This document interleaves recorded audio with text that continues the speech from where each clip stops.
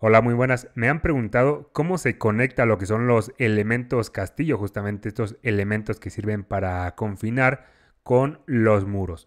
Obviamente debemos de generar una conexión. Muchas normas de, otros países, solo incluso la de México, menciona que se debe hacer un dentado y dentado pues se entiende de esta forma. Algunas normas mencionan que debe de ser de 5 centímetros, algunas otras mencionan que debe ser 3 centímetros de dentado.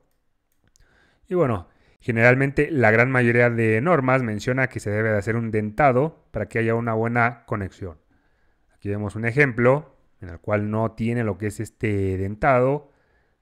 Aquí igual podemos ver algunos otros ejemplos, como podemos ver este detalle, el cual no se tiene pues ese dentado que nos menciona la norma y justamente, por ejemplo, si nos vamos a la norma 2017, procedimiento constructivo en 9.2.2, y aquí justamente nos menciona que la unión vertical de la mampostería con los castillos externos deberán dentarse para transmitir la fuerza de cortante. Se aceptará que la mampostería se deje dentada o bien que se coloque conectores metálicos o refuerzo horizontal.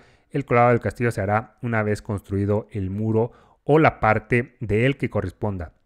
Esto quiere decir que el castillo obviamente debe de, primero debemos de generar los, los muros, incluso podemos generar partes de, de, muros, en el cual hacemos la mitad del muro, cuando tenemos fuertes vientos, una zona bastante libre, en una montaña, por ejemplo, pues generamos la mitad del, del muro para que no se, no se caiga con el viento, se cura la mitad y se procede, eh, a, se procede a hacer el, el resto del muro, se vuelve a colar.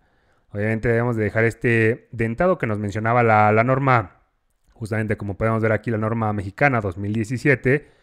Ahora, en la norma 2023 ya ha sido más específico, ha tenido muchos avances, ha tenido bastantes adiciones. De igual manera, aquí nos menciona lo mismo que nos mencionaba en la norma 2017, pero aquí ya son más específicos en cuanto a las dimensiones e incluso podemos ver otro tipo de unión entre lo que es el castillo y lo que es el muro. Justamente aquí lo podemos ver que muchos en la práctica, en la vieja escuela, se le conoce como este como boca de pescado, justamente este pequeño detalle, pero ya muy importante nos menciona estas dimensiones para que se pueda conectar lo que es el muro con lo que es el castillo.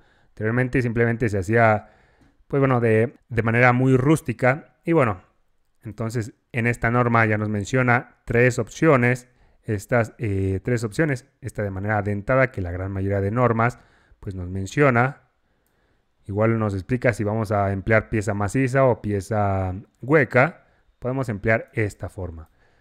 También tenemos esta opción de eh, boca de pescado más conocida. Justamente aquí podemos ver esta opción B. También tenemos esta otra opción a base de conectores y a base, también la podemos hacer a base de, acero, tal cual varillas aquí. Y ya nos dice aquí la separación y lo que debe de estar prácticamente anclado, que son más de mayor o igual a 20 centímetros. Y estas barras deben de estar separadas como máximo a 40 centímetros de altura. Entonces aquí podemos ver estos ejemplos. Y bueno, para sus próximos proyectos, pues hagan este tipo de detalle para que haya una mejor conexión entre lo que es el castillo y lo que es el muro.